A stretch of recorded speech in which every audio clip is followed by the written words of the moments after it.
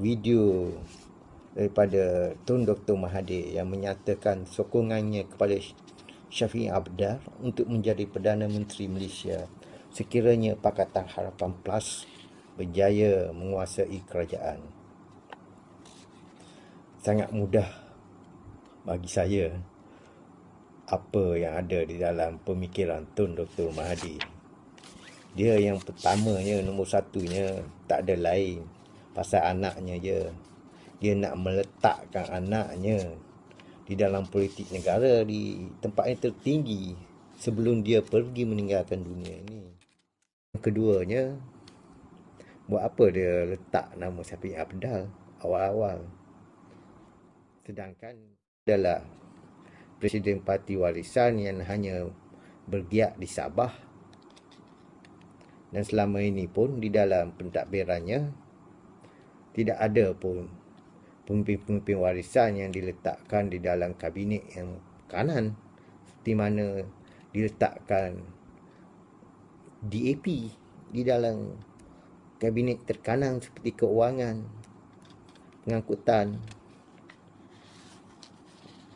uh, Tun juga tidak mahu terlepas negeri Sabah ke tangan kerajaan. Dia seboleh-bolehnya ingin Sabah terus memihak pada pakatan mereka. Kerana Sabah adalah negeri yang banyak sumbernya dan mungkin ia boleh menjadi kekuatan kepada pakatan mereka. Dengan menawarkan Perdana Menteri bayangkanlah ingat lagi zaman Tengku Razali ingin me, uh, melawan beliau sebagai Presiden UMNO dan dia pun dan semua orang UMNO pun tahu sekiranya sesiapa yang menjadi Presiden UMNO dialah Perdana Menteri. Kerana itulah orang-orang Kelantan ramai yang menyokong Tengku Razali waktu itu. Untuk apa? Selain daripada Presiden UMNO untuk Perdana Menteri lah. Kiranya terjadi apa yang dirancang Perdana Menteri itu Syafiq Abdal bila-bila masa saja boleh memecat yang dikatakan Perdana Menteri satu itu iaitu Datuk Seri Anwar. Dan Timbalan Perdana Menteri dua akan menjadi Timbalan Perdana Menteri yang tunggal satu.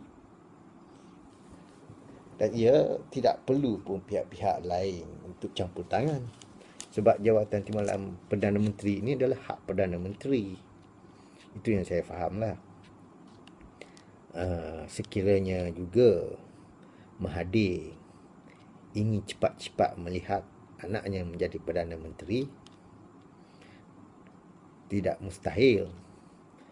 Mukris yang saya rasa lebih banyak sokongannya daripada, daripada Syafiq Abdul terutama di Semenanjung dan bila-bila masa